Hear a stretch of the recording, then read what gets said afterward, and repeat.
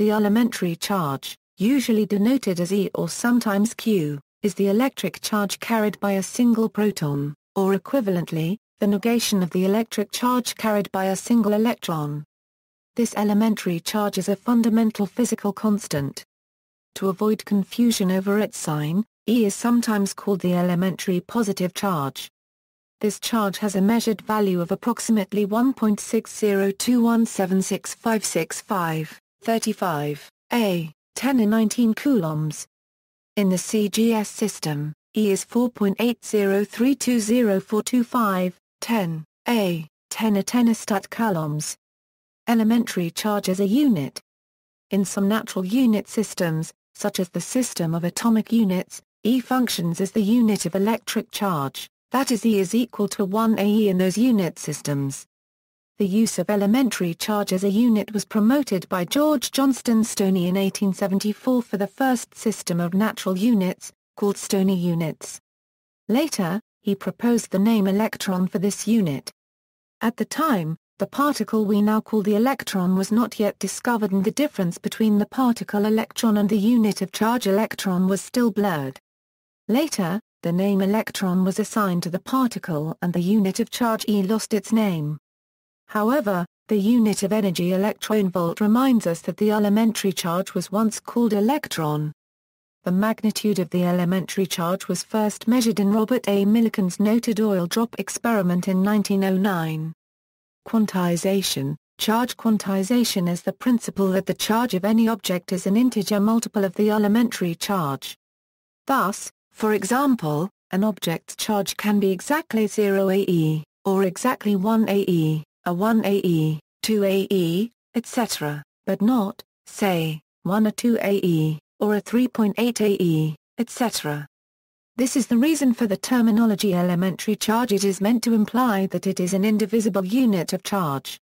Charge is less than an elementary charge, there are two known sorts of exceptions to the indivisibility of the elementary charge quarks and quasi-particles. Quarks, first posited in the 1960s, have quantized charge, but the charge is quantized into multiples of 1 or 3 a euro e. However, quarks cannot be seen as isolated particles. They exist only in groupings, and stable groupings of quarks all have charges that are integer multiples of e. For this reason either 1ae or 1 or 3ae can be justifiably considered to be the quantum of charge, depending on the context. Quasi-particles are not particles as such, but rather an emergent entity in a complex material system that behaves like a particle. In 1982 Robert Laughlin explained the fractional quantum Hall effect by postulating the existence of fractionally charged quasi-particles. This theory is now widely accepted, but this is not considered to be a violation of the principle of charge quantization, since quasi-particles are not elementary particles. What is the quantum of charge? All known elementary particles, including quarks, have charges that are integer multiples of 1 or 3 OE. Therefore, one can say that the quantum of charge is 1 or 3 OE. In this case, one says that the elementary charge is three times as large as the quantum of charge. On the other hand, all isolatable particles have charges that are integer multiples of E. Therefore, one can say that the quantum of charge is E, with the proviso that quarks are not to be included. In this case, elementary charge would be synonymous with the quantum of charge. In fact, both terminologies are used. For this reason, phrases like the quantum of charge, or the indivisible unit of charge can be ambiguous, unless further specification is given. On the other hand, the term elementary charge is unambiguous it universally refers to the charge of a proton. Experimental measurements of the elementary charge, in terms of the Avogadro constant and Faraday constant, if the Avogadro constant Na and the Faraday constant F are independently known, the value of the elementary charge can be deduced, using the formula. In other words, the charge of one mole of electrons, divided by the number of electrons in a mole, equals the charge of a single electron. In practice, this method is not how the most accurate values are measured today, nevertheless, it is a legitimate and still quite accurate method, and experimental methodologies are described below, The value of the Avogadro constant Na was first approximated by Johann Joseph Loschmidt who, in 1865, estimated the average diameter of the molecules in air by a method that is equivalent to calculating the number of particles in a given volume of gas. Today the value of Na can be measured at very high accuracy by taking an extremely pure crystal, measuring how far apart the atoms are spaced using X-ray diffraction or another method and accurately measuring the density of the crystal. From this information, one can deduce the mass of a single atom. And since the molar mass is known, the number of atoms in a mole can be calculated, nor equals mm. The value of F can be measured directly using Faraday's laws of electrolysis. Faraday's laws of electrolysis are quantitative relationships based on the electrochemical researches published by Michael Faraday in 1834. In an electrolysis experiment, there is a one-to-one -one correspondence between the electrons passing through the anode to cathode wire and the ions that plate onto or off of the anode or cathode. Measuring the mass change of the anode or cathode, and the total charge passing through the wire, and also taking into account the molar mass of the ions, one can deduce F. The limit to the precision of the method is the measurement of F, the best experimental value has a relative uncertainty of 1.6 a ppm, about 30 times higher than other modern methods of measuring or calculating the elementary charge. Oil drop experiment. A famous method for measuring E is Millikan's oil drop experiment. A small drop of oil in an electric field would move at a rate that balanced the forces of gravity, viscosity, and electric force. The forces due to gravity and viscosity could be calculated based on the size and velocity of the oil drop, so electric force could be deduced.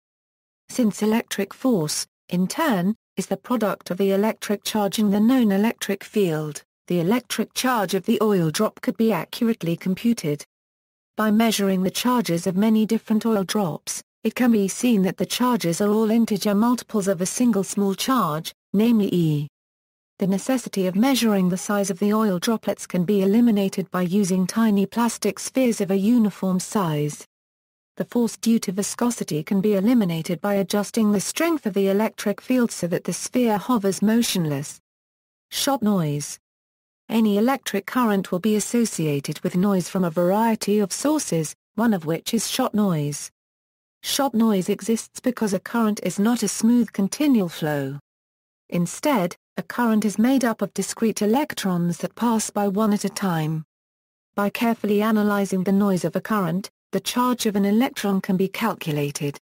This method, first proposed by Walter H. Schottky, can give only a value of E accurate to a few percent. However, it was used in the first direct observation of Laughlin quasi-particles, implicated in the fractional quantum Hall effect. From the Josephson and von Klitzing constants, Another accurate method for measuring the elementary charges by inferring it from measurements of two effects in quantum mechanics, the Josephson effect, voltage oscillations that arise in certain superconducting structures, and the quantum Hall effect, a quantum effect of electrons at low temperatures, strong magnetic fields, and confinement into two dimensions.